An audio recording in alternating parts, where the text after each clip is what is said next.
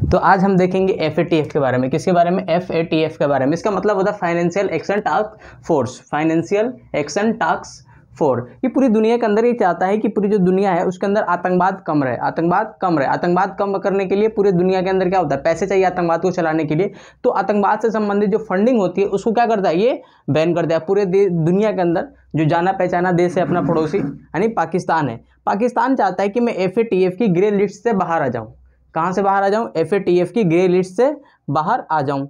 अब क्या है कि अब इसका विरोध कौन कर रहा है? अफ़गानिस्तान कर रहा है। इसका विरोध अफ़गानिस्तान कह रहा है। कह रहा है कि भैया, बात ऐसी है कि पाकिस्तान अभी सुधरा नहीं है तो इसीलिए इसको एफएटीएफ की जो ग्रे लिस्ट है, उससे बाहर मत निकालो। जो एफएटीएफ है, वो दो प्रकार का लिस्ट निकालता है। कितने प्रकार का? दो प्रकार का लिस्ट निकालता है। एक निकालता है ग्रे ग्रे जब निकालता है तो इसमें वार्निंग दी जाती है कि देखो भाई, आप जो है आतंकवाद को फंडिंग कर रहे हैं। इस प्रकार के काम कर रहे हैं। तो अगर आप ऐसा काम करते हैं तो आपको पूरी दुनिया के अंदर आ, मतलब व्यापार वगैरह करने नहीं दिया जाएगा। अगर ब्लैक लिस्ट में डाल देता है तो बिल्कुल ही पूरी तरीके से सेंसनड हो जाता है। मतलब आप व्यापार कर ही नहीं सकते। अगर ब्लैक लिस्ट में आ जाते हैं तो कोई भी देश नहीं करेगा आपसे व्यापार। तो जानते हैं एफएटीएफ के बारे में। ये क्या है? एक अंतर सरकारी संस्था है। क्या है? अंतर सरकारी संस्था है। इसका मतलब ये होता है अंतर सरकारी संस्था का मतलब ये देश मिलकर बनाए हैं। बहुत सारे देश मिलकर इसको इसका निर्माण किए हैं। सरकारी मतलब बहुत सारे देशों की जो सरकार हैं उन्होंने मिलकर इसका निर्माण किया है। इसका निर्माण कब हुआ? तो उन्नीस सौ नवासी के अंदर। 89 के अंदर इसका निर्माण हुआ। कब हुआ निर्माण? 89 के अंदर।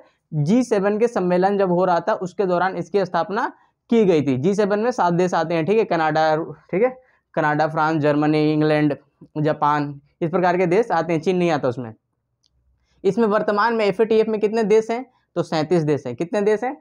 थर्टी सेवन देश हैं और उसके अंदर दो आपका क्षेत्रीय समूह है। इसमें एक है यूरोपियन यूनियन, एक पहला क्या है यू मतलब यूरोपियन यूनियन, दूसरा है जीसीसी इसका मतलब होता है गल्फ कॉरपोरेशन काउंसिल होता है, ठीक है? गल्फ कॉरपोरेशन काउंसिल होता है। जो एफएटीएफ का जो हेड क्वार्टर है, वो कहाँ है?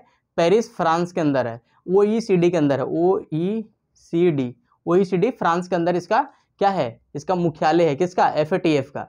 इसका काम क्या है? पूरी दुनिया के अंदर एफ़ का जो काम है मनी लॉन्ड्रिंग को रोकना। मनी मनी लॉन्ड्रिंग का मतलब होता है कि जो पैसा है ना, काला धन, एक देश से दूसरे स्थान, देश को ले जाना, उसको क्या बोलते हैं? मनी लॉन्ड्रिंग आपने एक फ़िल्म देखी होगी भाई किक फ़िल्म उसमें एक हीरोइन है जेकलिन फर्नांडिस करके जब पता नहीं क्या नाम है उसका, वो भी अभी मनी लॉन्ड्रिंग के केस में फंसी हुई है, ठीक है?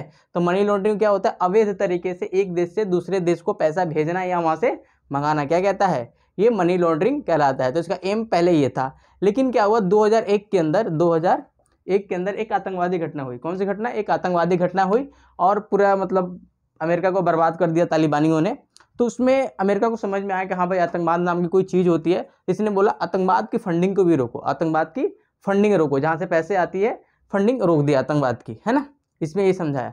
तीसरा है इसका वैश्विक वित्तीय स्थिरता को बनाए रखना। पूरी जो दुनिया है जो चल रही है एक लेन देन पे चल रही है और इसमें जो लेन देन है किसके आधार पे होता है? डॉलर के आधार पे होता है ना? तो जो सिस्टम है उसको मेंटेन करके रखना ये नहीं कहीं ज़्यादा महँगाई हो जाए कहीं ज़्यादा मतलब महँगाई हो जाए और कहीं ज़्यादा बिल्कुल ए, कम हो जाए। इस प्रकार की बातें को बिल्कुल रोक के रखना है। कितने लिस्ट निकालता है? दो। कौन से? एक होता है ग्रे लिस्ट ये पूछता है पेपर में ग्रे लिस्ट और ब्लैक लिस्ट किससे संबंधित है? तो एफएटीएफ ठीक है?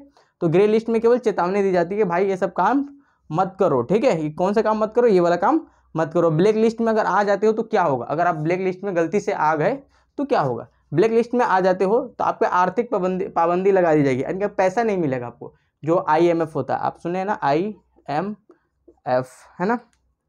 वर्ल्ड बैंक वर्ल्ड बैंक है ना? ये सब जो देश हैं, पूरी दुनिया, है ना? ये पैसे नहीं देगी। आप किसी देश से जाओगे ना, कर्जा मांगने, वो नहीं देगी। आप कहोगे, उसको कैसे पता चलेगा कि मैं F F F A T F में हूँ या नहीं हूँ?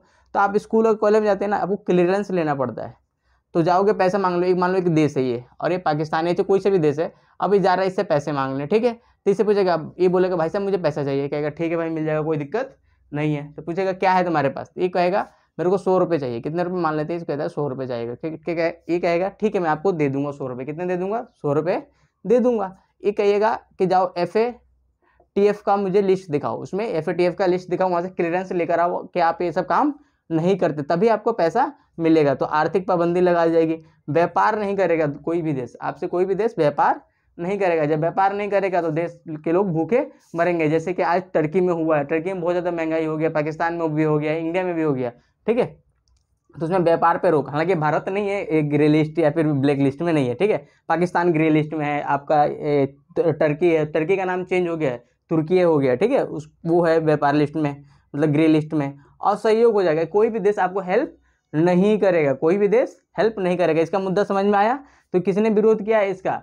अफ़गानिस्तान ने विरोध किया पाकिस्तान का किसको ग्रे लिस्ट में मत ग्रे लिस्ट से मत निकालो। अगर एक बार निकल गया तो फिर अपना पुराना वाला ही काम करेगा। इसीलिए कहते हैं, पड़ोसी को बचा के रखो। पड़ोसी को मतलब बचा के मतलब कि संभाल के रखो। उससे ज़्यादा इधर उधर मत करो। तो पाकिस्तानी इनको मूर्ख समझते हैं। अब मूर्ख अफ़गानिस्तान बनाएगा किसको? पाकिस्तान को। ठीक है, ये उम्मीद करता हूँ कि चीज़ें समझ में आ गई होगी। ठीक है?